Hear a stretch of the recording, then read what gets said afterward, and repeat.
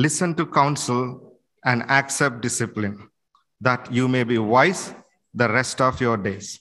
Proverbs 19 20. I never met anyone who hates wisdom. We all, it is a wonderful command, and uh, it starts with a, a little bit command and then ends with a promise. So I would like to share my viewpoint on these words.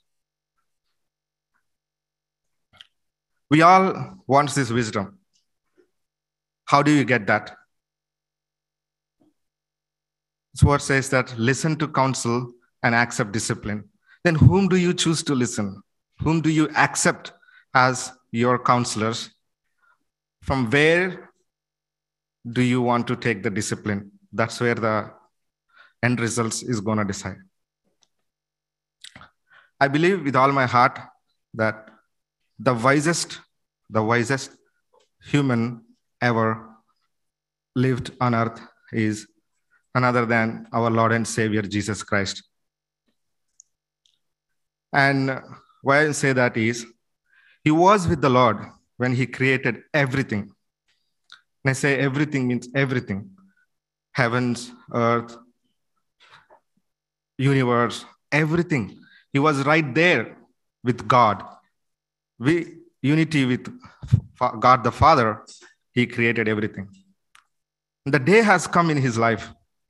God the Father said, Jesus, pack up everything. Your time on heaven is done. You have to go sometime to earth as a child. So, this child, we read in Luke chapter 2. Please turn with me to Luke chapter 2.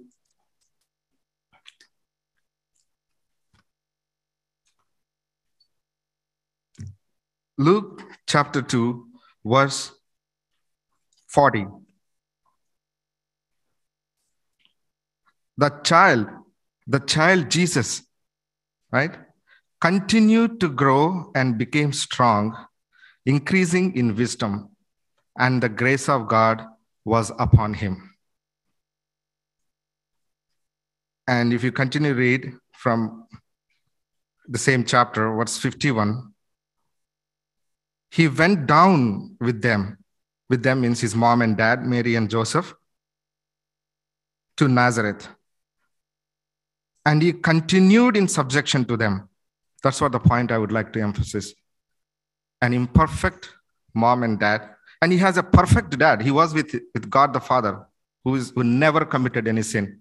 There he commit, he submitted himself the authority of God the Father same attitude. He came here as a child. And here, completely different people. They are not perfect like God the Father was. Still, his attitude hasn't changed.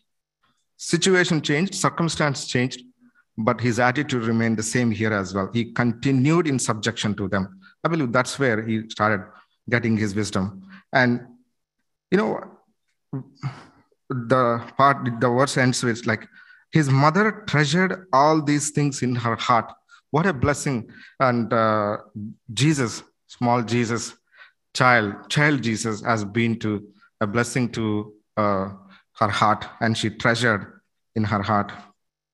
And continuation, chapter verse 52 Jesus kept increasing in wisdom and stature and in favor with God and men. That's what I, I, I that's why I say that he's the wisest man ever lived on the earth, and he got his wisdom. And uh, he never looked down on any people, and he subjected to the authority. And I would like to share another verse uh, from Matthew. With this, he has done it.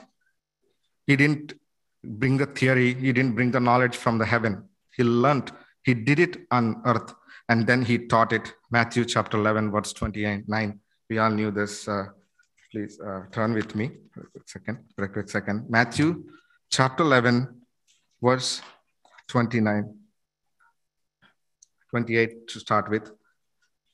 The Jesus who submitted to the authority and who listened to the counseling, who obeyed to the discipline, saying, Here, come to me, all who are weary and heavy laden, I will give you rest. Take my yoke upon you and learn from me, for I am gentle and humble in heart, for you will find rest for your souls. Many of we make have done many decisions and are going to do many more decisions. Are we weary? Anytime any big decision we make it, we definitely are weary. We try to reach out. Uh, we try to, you know, a lot of analysts are around. If you are thinking about investment or which financial analyst's advice I should listen, if you are going through a sickness, which doctor's advice I should take it? Should I go for a second opinion? Should I take it a third opinion? All we are weary, make we think weary. But Jesus is telling that, come to me, take my discipline, learn from my life how I got subject to the authority. And uh, uh, I would like to share my testimony in this line that I became a Christian at the age of 17, and uh, my father passed away after we became Christians. But uh, as an elder son in the home, all I want to tell you that emphasis is that I had to take many decisions as my younger brother is there, my mom. So 20 years passed. And in my marriage, in my education, in the city where to live, which church to choose, which counselor to, which teacher I should listen. All these things, the Lord has been so good to me. And I never got regretted of listening to Jesus and keeping Jesus is my hero and my counselor from whom I can learn. Uh, I believe the Lord will help all of us to listen his counseling and accept his discipline that we all maybe become wise in the days to come. Uh, I believe the Lord will help us.